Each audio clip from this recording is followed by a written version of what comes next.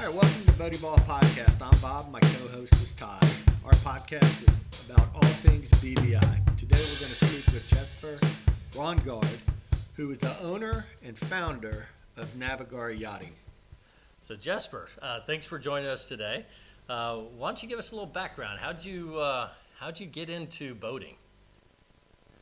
Hey guys, yeah, thanks. Thanks for having me on today. Um, so I got into boating uh, when I was actually uh, an exchange uh, student. So I'm a Swede living in Sweden uh, normally, and I moved over to St. Pete, Florida, a few years back.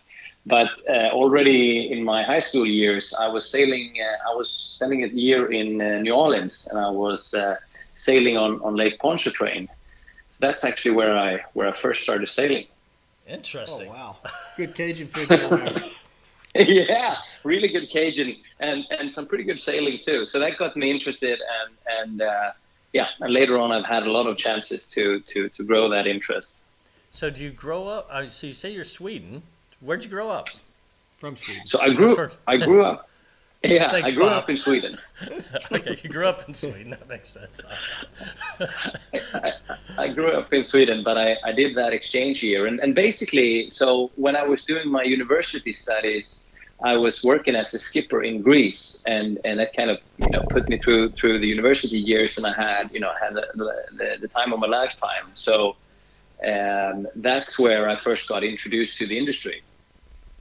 so what was it like sailing around Greece?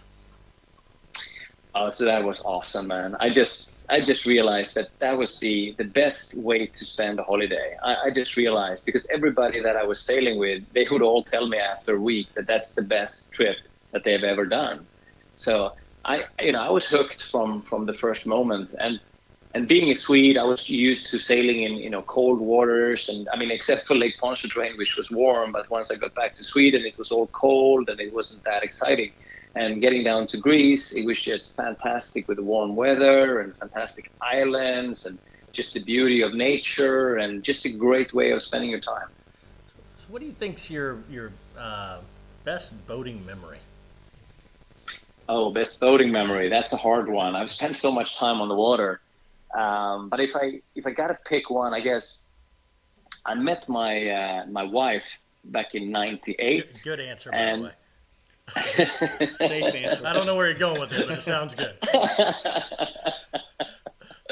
yeah, I thought so. but uh, so uh, I was a I was working as a skipper a, a little bit still at the time, and and uh, I had a, a chance to to bring a boat uh, back after a charter, and I asked her. We just had a few dates.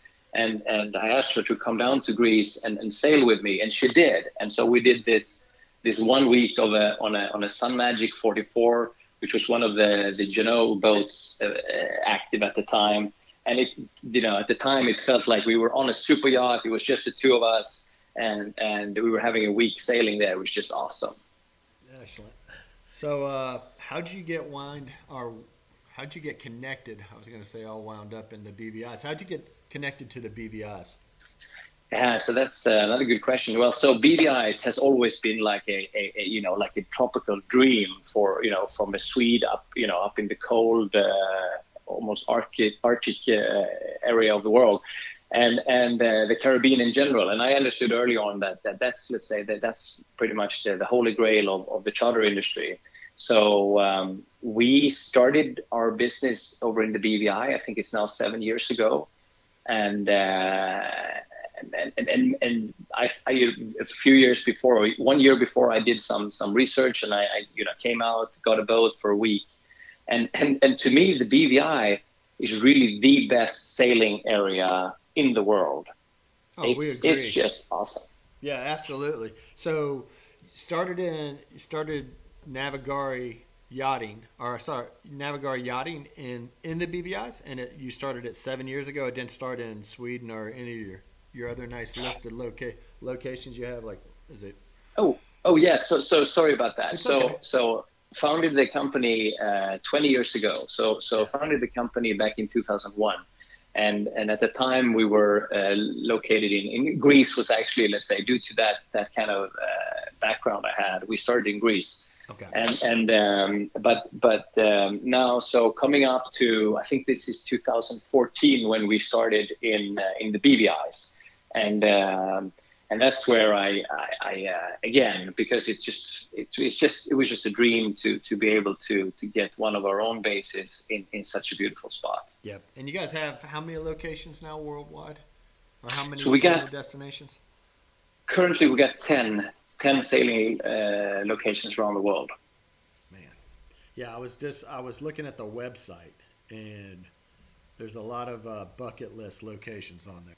Yeah. Yeah, and you know what? I, it's it's I, you know we're opening up a new destination in, in the Seychelles uh, this winter, and, and hopefully we're also going to open something up. It's it's actually brand smoking new, but we're also probably going to open up something in the Maldives later this year. Really? And and um, yeah, and it, it's it's it's two really exciting areas. I've sailed I've sailed them both, and and but it, it's a good and, and they're beautiful in, in their own different ways. I can you know I can spend an hour speaking about it, so I won't do that. But I, I, I can say that if I compare those to the BVI's, I am still a big big fan of the BVI's because the BVI's is kind of the, the kind of the perfect microcosmos for for a charter guest because you have it all at your fingertips. Um, you have the beauty of the islands, you have the beauty of the you know the nature, the sea, and, and all of it. And you can go to deserted spots where you, you kind of get off the beaten track in the BVI's. But you also have just around the corner, you have a, a, great uh, beach bar, and there is some other you know great folks on the beach that you can hang out with, and you grab a painkiller with, and you you know it's so much interaction, it's so much good people traveling. So it's just for me that's just the greatest combination. Yeah, no, we, we agree. It's you can you can have the isolation if you want the isolation. You can go be part of the, the beach beach bar, you know, beach scene if you want to be part of that. It's uh, it's a great location, and, and obviously it's a it's a top place for people to go and charter uh, not only bareboats but uh, crewed boats as well. Yeah, yeah So- very much, very so, much. so what other services does uh, Navigare uh, offer? Well, so what what we do is, I mean, we, we do charter boats, obviously, but we, we also, of course, sell boats. Um, so so many of these boats, actually, all Navigare boats, is by in some way uh, owned or financed by uh, somebody. So some some sailor who wanted their own boat. Uh, that's uh, that's what we are we are made up on of. Um, but then, of course, outside of, of that, we we do um, we do all the maintenance, we do all the service, of course, all the turnarounds, so all the all the logistics around around the charter, and of course, the logistics around bringing in a new boat. So every year we bring in another 60, 70 new boats around the world. So that's a pretty big uh, big part of the job as well. Right. So the maintenance. Now you y'all done some interesting things to kind of uh, bring technology into the charter space from a check-in and uh, process. Can you talk a little bit about uh, what you guys have done from a technology standpoint? Um, Yeah. Yeah. Hey, Ty, I'm so glad you mentioned that because that's that's one of the features. So, because I, I, uh, I, you know, I was in IT uh, before I, so I, finally managed to, to get through my university studies, and then I went into IT before I, I, I got into to uh, to starting Navigare Yachting. So, and and those those years has really, you know, I got a I got a just a, a decent understanding of of of, of, uh, of how how how fundamentally the, the software industry works and how how uh, how we could we could uh, accomplish a lot of stuff by by integrating it to to our current business. So what, what we have done, I mean, we have a lot of, of different IT infrastructure that is helping us, but but which is the, the core of everything in our world um, is a software system where where all the maintenance is is recorded. We also use it for the check in and check out. So the, the base manager, the base guy, he he has an, an app on his phone where he that he checks the boat when when it when it comes back, and and the, the client uses um, the software also to to check check in the boat when when when they arrive at the base, and the, the whole thing is, is great because they, the, the, of course it's all instantly transferred to the to the back end um, kind of browser based uh, uh, software where uh, both um, the base manager can can get an, an, an, real time update of what's going on in the boats, but also um, management can follow it, and and ultimately boat owners can follow what's has been done with their boat. So it's it's it's a great system, and it really works well when you are geographically distributed as we are. Yeah. Now, I can see as a boat owner the peace of mind of being able to see exactly what's going on with your boat and the maintenance and everything else. So, no, it's uh, Bob, and I have had our own little experience with uh, IT. Uh, now, I, I, would say uh, uh, running a charter company is a whole a whole lot. Uh, sounds like a lot more fun than staying in IT. yeah, it, it I, I think I think really that I, I probably got the best job in the world. Um, you know, I get to work with, with what is my, my hobby and, and I get to work with all these people who are uh, making their own, their own dreams come true. It's, it's pretty amazing actually. That's that's awesome. I think that's part of the reason why Bob and I uh, started Boaty Ball. we wanted an excuse to uh, do something similar. So uh, yeah, the difference yeah. was is we had no idea about IT, so we could have used your help early on. well, you seem to have fixed it pretty well. So you guys are doing great there. With uh, it's it's it's a fantastic help, and and and, and you know it's uh, it's amazing that that um, uh, how how much uh, positive comes out of being able to to pre-book uh, your slot so that you know that you can get into a certain place at night. It just you know helps you relax all day and and makes your planning so much easier. Yeah, we you know that was really one of the few stresses we had uh, when we were down there was just uh, finding a mooring ball, getting one, um, and it cut into our time that we could spend on the water. So. Um, yeah, no, it's been a it's been a fun project and we've enjoyed it. But this isn't about us. This is about you. So, uh, one of the other questions I had for you is, you know, what are one of the biggest? What's some of the biggest changes you've seen over the last 20 years in the uh, charter industry? Yeah, that's a, that's another good one. So we we came into to the industry where the, the German manufacturer Bavaria was doing. Uh, they had a new model Bavaria 44, and that boat was priced something like 30% below the equivalent Beneteau boat. So with that, we were getting a ton of those boats, and we were killing the market. And but they were all monohulls. They were smaller, let's say. I mean, smaller, but let's say 45 feet monohulls uh, up to maybe 50 feet.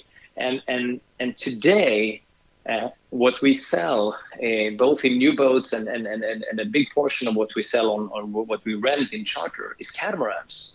Yeah. And uh, and so that's the that's the really really exciting change. And I think that the, the not just that it's just a different kind of boat, but of course it's so much more comfort on the catamaran. And and I think that with that increased comfort, we would we are reaching so many more clients that believe uh, feel that that's the that's the way they want to go on holidays. With with the monohulls, it was you you needed to be a little bit more uh, adaptable to to to less you know less square foot and and uh, maybe you would share the the, the, the bath with somebody else.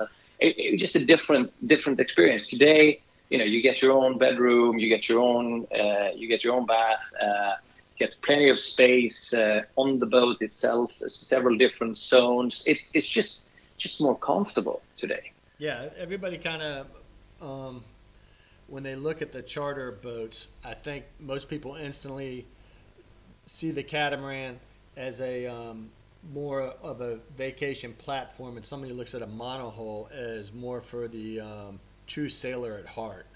Um, somebody that wants to get out and sail and be a little bit more sporty and have to work a, the boat a little bit harder and just be an yeah. all around better boat person. Um, yeah. And I yeah. speaking from my background. But, but, we actually like our wives to join us. And, yeah, uh, so catamarans is the way we go. Um, yeah, that's it, isn't it? I mean, and, and, and, and you know, even even I mean, unlike you guys, I mean, I, I've been you know I've been growing up with with the with the monohulls, and and it's it's a lot of fun. And when you you know once you once you get the boat heeling and you get the full set, set of sails up and, and you just you know just just flying it's it's an amazing feeling so and and and, and you you don't have well you can have similar but but not that often on, on the catamaran so so of course it is a different sailing experience but but I mean, between us, how often do we really sail like that? And particularly when we are on a family holiday, I mean, Right. it doesn't doesn't really happen much. So, so even you know, even myself, I just you know, I enjoy the catamaran so much more because of all the other time you spend just hanging out with friends, you know, chilling out on the flybridge or you know, sundown, sundowner in the cockpit, whatever. It's just a so much better expo- overall experience. Oh yeah. So keeping on that, what do you think it's gonna uh, the charter industry is gonna look like in ten years, or what are the charter boats gonna look like? Are they gonna go to a um, a more electric based fleet? Yeah. So yes, for sure. So I, what I what I what I think we will see is the, the trend of the catamarans will be even more. Let's say, and and the boats will be become bigger and bigger. I mean, that's that's also clear, uh, clear trends in industry. And and as you say, for sure we will see much more electrical because the the electrical engines uh, fit so well with the sailing boat. So. Uh, the, I mean, for a power boat, I think we will have to wait for a bit longer. But since we are mainly in the business of, of, of renting sailing boats, I think it's going to be a pretty rapid process over the next few years. So there's going to be a lot of electricity in uh, in our industry soon, and on bigger boats. So you mentioned Bigger the bigger cats. the bigger boats, the bigger cats. Um, where are they gonna stop? Right now, the moorings are spaced for um, Most si- of- most yeah. of them are spaced for a sixty foot boat for the swing of a sixty foot boat. Um, are, do they? Do you think they cap it at sixty, or are, there, are people going to be on sixty five and seventy foot cats and then dropping anchor? Oh, I mean for for the moorings. So I mean, I, I think I think what, what already when you are up, um, what I'm what I think I'm talking about is that the average size cat we are renting today is probably more like a 45, 42, 45 feet cat. Gotcha. And I'm thinking that that's going to be increased. So probably what we will see is, you know, you're going to see 50, 55 feet cats. Uh, but I'm, I'm not so sure that it's just going to continue on. And then, you know, another 10 years, it's going to be 80 feet because there is also, of course, you know, the, the whole cost uh, uh, uh, rela- ratio between, yeah. between. So, so uh, I, I would I would imagine that that you know those those 60 feet you is probably going to get you pretty far on on you know the average size boat. Yeah. Yeah, I would like to be on a sixty foot cat. Me too, man. I, I think that on the flip side, right, is uh, a lot of times when you're going down and chartering a boat, it's uh, a lot of times maybe larger than what you're used to captaining. And so, at what point is too big too big and uh, not feeling comfortable? So, yeah, I, I think, you know, somewhere in that range, you know, 45, 50 feet is uh, is uh, is a good range. Yeah, it's do that's that size is doable by most people with any um, any experience, just an ounce of experience probably. and if we're talking about ourselves, that would be double of what we probably have.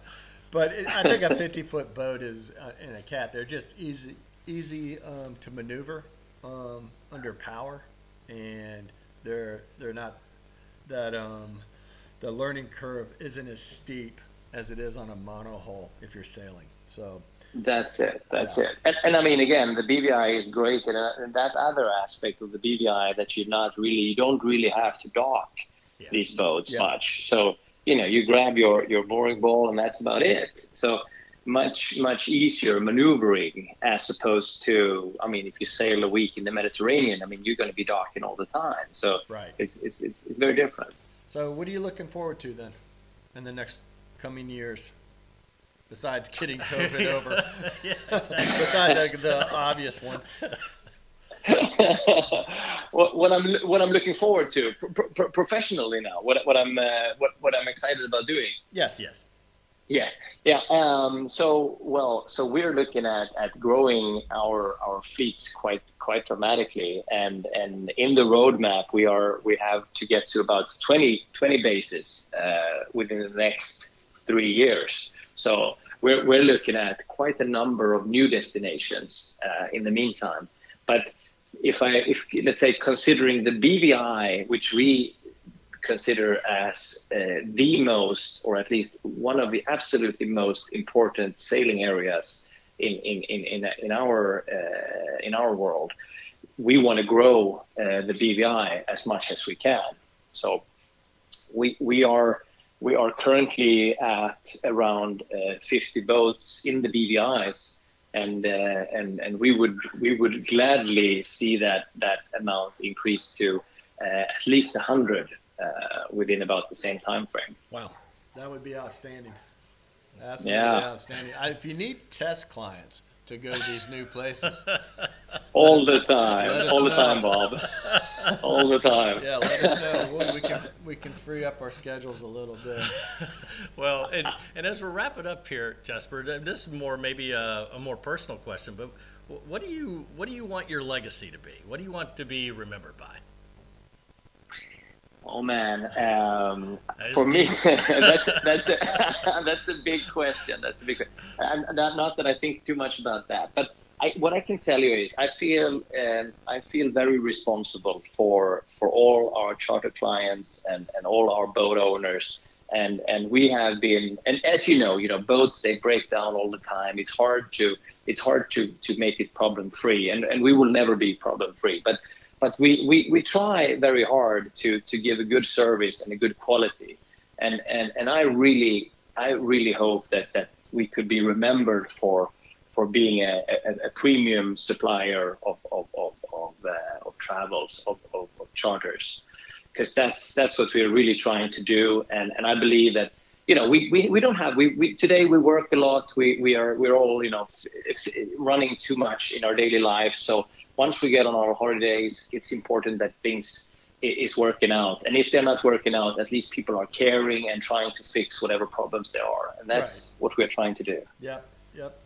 No, I think um, if if a client has a problem and it's addressed properly, and the people that are addressing it are literally concerned about it, it goes a long way for the uh, positive experience for somebody on a charter boat because they do spend a lot of money on a boat, and it is it's it's uh, a time commitment to get down to the BVI's and go sailing for a week, and you definitely don't want to feel like you're getting shrugged off if you have an issue. There you go. Yeah, Yep. that's it. That's it. So that's super important to me. So I'm, I, I, uh, that's what we're trying very hard every day to do that. Awesome. Well, we, we would encourage everybody uh, listening to this and our user base to definitely uh, consider Navigare next time they're heading down to the BVI and or uh, many of the other locations uh, around the world. We want we want to look into those ourselves. And uh, but Jesper, we really appreciate you taking the time, uh, sharing a little bit about your experience and getting Navigare started and your your vision of the future. All right. Well, Ty and Bob, thanks so much for having me on. It's uh, you, you, you guys done a great job of, of getting Boaty Ball up there, and, and we hope to see you guys in, in many more locations, uh, many more of our locations soon as too as well. Sounds good. Thank you, Jasper. Thank you. All right. Thank you, guys.